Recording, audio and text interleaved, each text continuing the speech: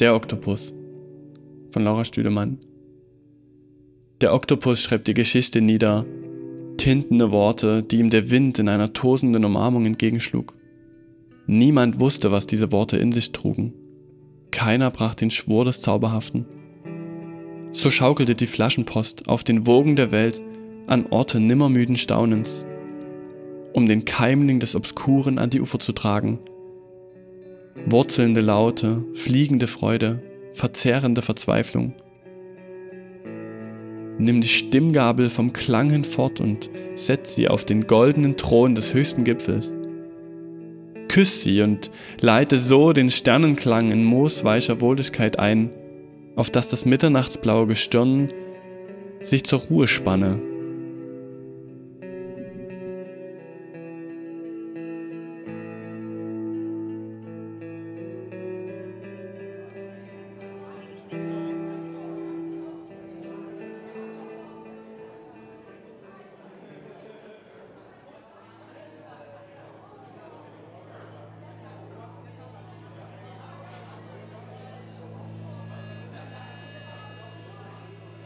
Es geht dem Gedicht für mich genau wie mir mit meinen Bildern nicht um das Ausdrücken einer inhaltlichen, performativen Nachricht.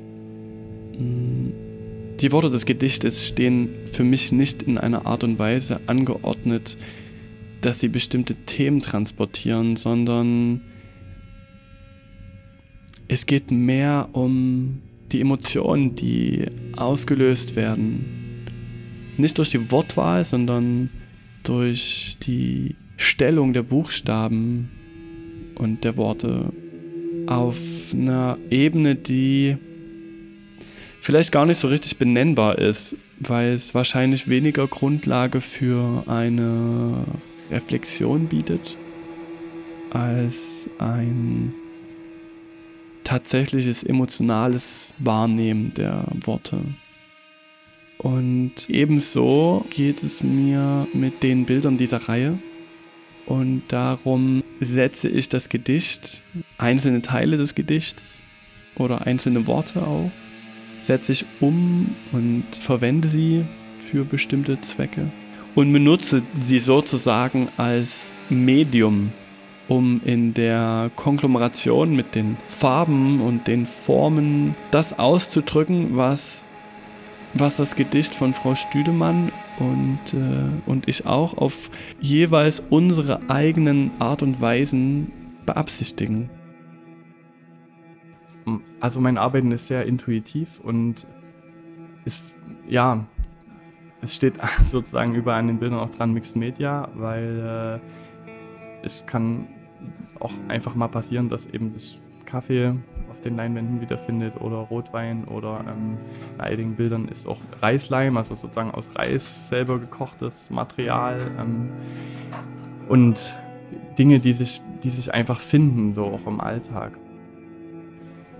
Wenn ich durch die Straßen laufe, habe ich irgendwie immer dann, wenn ich zurückkomme, was in meiner Jackentasche, irgendwelche Schnipsel, die ich finde, Papier, was irgendwo auf der Straße rumliegt, wo Leute irgendwie tagelang drauf rumtreten und dann durch die, könnte man sagen, zufällige Bearbeitung sich einfach Strukturen darauf bilden oder Plakate, die vom Wetter verändert werden und dann einfach ähm, ich da Sachen rausnehme, die sowas findet sich häufig in, ähm, in den Arbeiten auch wieder. Also ich sehe da wenig Grenzen in der Verwendung der Materialien. Sachen, die auf Leinwänden ähm, passieren, das bietet die Möglichkeit, ähm, dass sozusagen auch chemische Prozesse ähm, eine Rolle spielen, weil durch verschiedene Chemikalien die Farben sich ähm, verändern in ihrer Struktur oder ähm, gerade dann erst in den Farben Strukturen entstehen, die so natürlich irgendwie sind oder organisch, was viel auch zusammenhängt mit genau Einsatz von verschiedenen Chemikalien, mit äh, Raumtemperatur auch.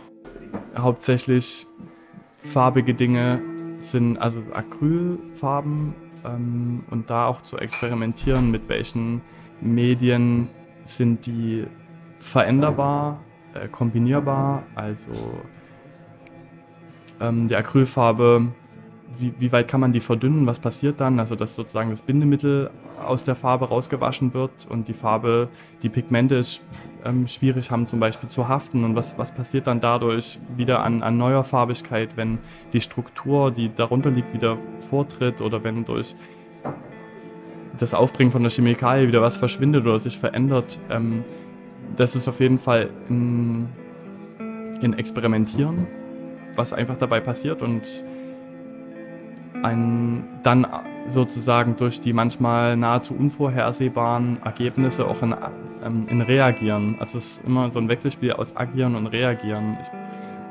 tue was, ich bringe was auf und ähm, es verändert sich und es ähm, gibt irgendein Ergebnis und das ist dann wiederum zu beeinflussen und ähm, darauf zu, zu reagieren.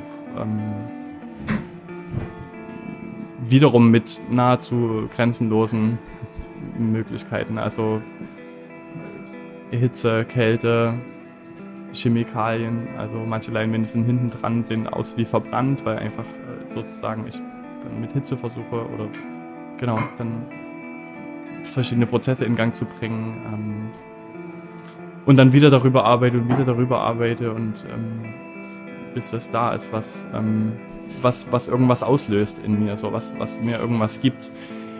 Und das ist auch interessant, weil ähm, es sozusagen nicht so ist, obwohl das bei vielen Bildern schon eher auch gedeckte Farben sind, äh, Pastelltöne, gibt es auch Sachen, die eigentlich ziemlich grell sind und ziemlich farbig sind, aber dennoch irgendwie nicht bunt ähm, werden, so was möglicherweise auch so eine Emotionalität zugrunde liegen hat, die glaube ich schon noch einfach einen Einfluss da oder also insgesamt das Gefühl, was du hast beim Produzieren, beim Malen, beim beim Tun wirkt sich einfach aus auf das, was letztlich dann auf der Leinwand steht.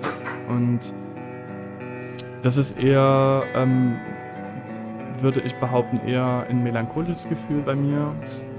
Und ich denke, dass ja auch dieses Gefühl, was ich dabei habe beim Produzieren, sich einfach dann auch widerspiegelt. Und das ist manchmal gar nicht so richtig erklärbar ist, warum jetzt diese mega grellen Dinge vielleicht doch eher dieses melancholische Gefühl ähm, rüberbringen, einfach weil es im, im Schaffensprozess ähm, einfach dabei war oder ist. Ja.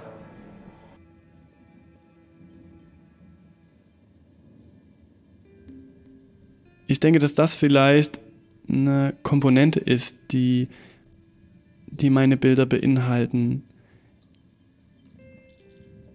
Die Möglichkeit, sie als als Eintrittskarte zu verwenden oder, oder, oder, oder als Fenster zum Rausschauen aus allem. Und rein in, in eine andere Welt. Was Zauberhaftes. Das, das äh, muss nicht unbedingt bedeuten, dass es schön ist.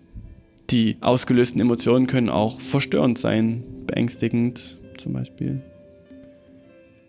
Aber ich hoffe, dass sie auch, wie auch immer sie sich anfühlen, diese Emotionen, dass sie in irgendeiner Weise klärend sind. Also, dass sie etwas aufklaren oder beim Aufklaren helfen. Was mich aber besonders bewegt, ist Menschen zu beobachten, die sich beim Betrachten meiner Bilder unbeobachtet fühlen und sich hineinzufühlen und zu interpretieren, was möglicherweise im Dialog zwischen dem Menschen und dem Bild gerade passiert. Welche der Emotionen gerade angesprochen werden. Ob sie vielleicht gerade im Gespräch sind, auch mit sich selber. Ob meine Bilder quasi dazu beitragen, vielleicht an Punkten weiterzukommen, vielleicht Dinge neu zu reflektieren. Ob die Form und Farben der Balztanz von Ordnung und Chaos mehr bewegt als nur die Augen.